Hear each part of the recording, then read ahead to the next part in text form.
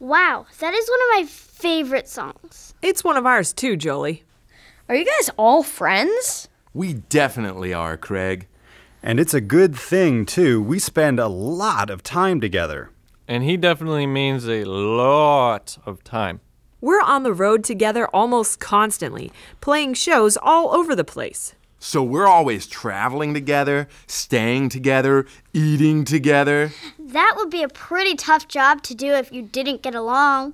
It really would be, Jolie. I think all of us in the band agree that surrounding yourself with good people who care about you and are helpful is one of the most important choices you can make. Yeah, we're all different, but that's what makes our group fun.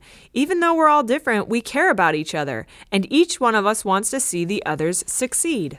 So just because you're all different doesn't mean you can't be friends. Correct. For instance, I really don't like mustaches.